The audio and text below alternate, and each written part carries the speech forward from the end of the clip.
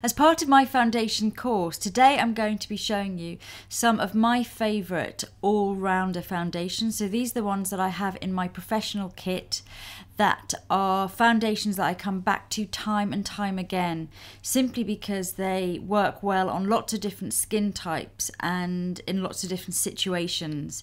So none of these are particularly cheap, but these are the ones that I can rely on and I have in my kit. So I'm going to start with Chanel's Vitalumiere Aqua and this has probably only been out for about 18 months but it has become one of my favourites. And the reason being is that it's very, very light. It is a silicone and water formulation, so it, it's quite thin. It needs a good shake up before you apply it. I like to apply it with fingers. And although it's called Vitalumiere and you think it's for dry skin, it is more of a semi matte finish although it has luminosity, it's definitely more of a semi matte finish. And for this reason, I think it's great for everyone from kind of normal to combination and normal to dry skin. And the reason being is that it has, on one side, it has oil absorbing properties, but it also has skincare and moisturizing benefits. So it means really that your drier areas or dry skin isn't going to be dried out anymore, and your oily areas aren't going to look too luminous and, and shiny. And of course, if you do have combination skin and you're quite oily, you can always add powder on top of it into the onto the oily areas.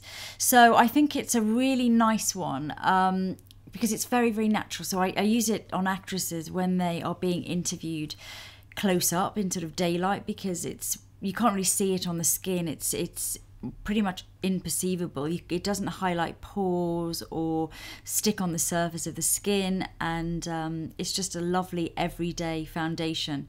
It also has an SPF of 15 and some extra UVB protection, so it's just a nice one for putting on every day. It's easy, and um, for this reason, it's definitely made it into my kit.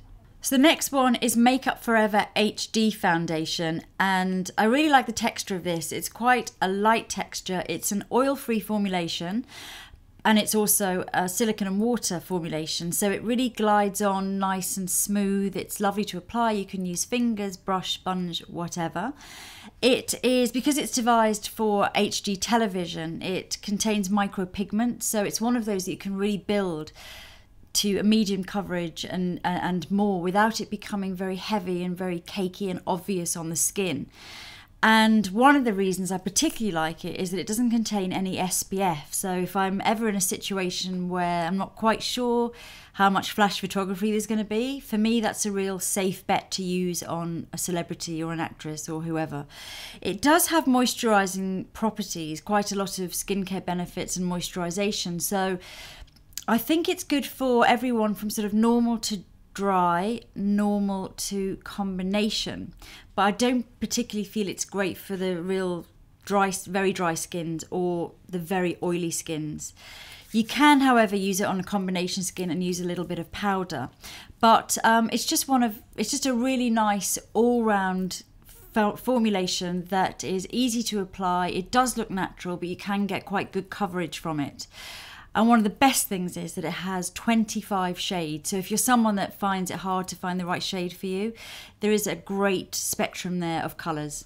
The next one is MAC Pro Longwear, and this is a super long lasting foundation that I particularly like to use when I am shooting something where I don't know it's really, really hot or I want a really good coverage on the models or, or something like that. It is a medium coverage, but it's buildable to heavy, I'd say, and, and full coverage. So it's good if you are maybe going out in the evening and um, you want something that's going to really stay on, really give you that, you know, total uniformity. If you do need quite a bit of coverage, and it only has an SPF of 10, so it's quite a low SPF. So it photographs pretty well. It comes in about 17 shades, so it's got a good selection of shades, and you can apply it, it's best applied really with a brush or sponge. But it's a little bit goes a long way, so you'll be amazed how this builds up to full, full coverage very quickly. But it really does last. If anything, I find it quite hard to remove when I've used it on models for shoots and I found oil to be the best oil based um, remover to be the best thing to take it off but I find it to be good Another MAC one, and this is MAC Face and Body. And anyone that watches my videos will know this is an absolute favourite of mine. It's been in my kit for 20 years now.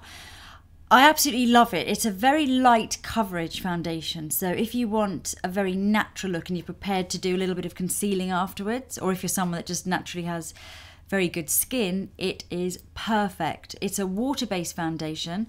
It needs quite a lot of shaking up before you use it. Um, and it's quite a strange texture if you're not used to it. It comes out sort of watery and a bit gloopy and a bit sort of strange.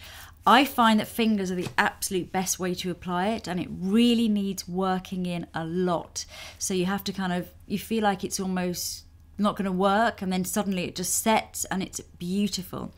It's extremely long lasting and water resistant. It contains a very strong film former, which means that's what you sort of feel when you're applying it, the film former sort of settling. But once it's settled, it, it as I say, it forms a film and it sets. So it's not going to come off or come off on clothes, which is why it's fantastic as well for bodies, for legs, for arms, any exposed skin. It has no SPF, so again, it's a really nice one if you're unsure if you're going to be photographed. And um, for me, it, that's a real godsend. And it's it's just a great product. I go through mountains of it. It comes. This is the 120 mil size that I use comes in 13 shades and they're really good shades but you can also get a 50 mil which i'd say if you're not going to use it that often if you're not someone that maybe likes a light coverage every day then um, we're just going to use it for weekends or something then get a smaller size because if you just leave it to sit there it can go the texture can go a little bit strange again because of the film former. The film former in it actually is so good that um, i sent it several years ago to a lab that i was working with to have them analyze it and break down all of the ingredients because I, I wondered what the film former actually was. And it came back that it's the same ingredient that's used in you know those dual lip products lots of brands make them where one side really stains your lips and then there's a gloss the other side and it contains that that real staying power that they have in which um, explains why it just doesn't come off. I mean, you can get in the shower practically if you've got it on your body and you can see the kind of water rolling off it. So I use it loads on shoots and um, it's it's as I say it's it's a classic and it's great for so many different skin types. It's not too dewy it's not particularly matte it's in the middle it's a natural finish so if you are oily you will need to powder but um, it's it's a classic my next all rounder is Giorgio Armani Luminous Silk Foundation, and this is a great foundation. It has a, a lovely smooth texture, it's a silicone based foundation which you can apply it quite light, but it's sort of a medium coverage but it's you can either take it down to light or build it up to heavy coverage, full coverage. It is a joy to use. It's great for so many different skin types. It has a mixture of sort of, it's oil free, but at the same time, it's quite hydrating. So, for that reason, it covers again everything from the normal to dry and the normal to oily. If you are oily, though, you, you'll find that it hasn't got enough absorbency, so you will need powder, and it's probably not great for very oily skin but it's one of those that um, I know lots of wedding photographers and uh, wedding makeup artists and things use because it does photograph beautifully. It has something about it which is sort of luminous but without shine. It, the pigments are beautifully blended and um, it just creates that lovely flawless look without ever looking heavy or dense. So it's a really good foundation.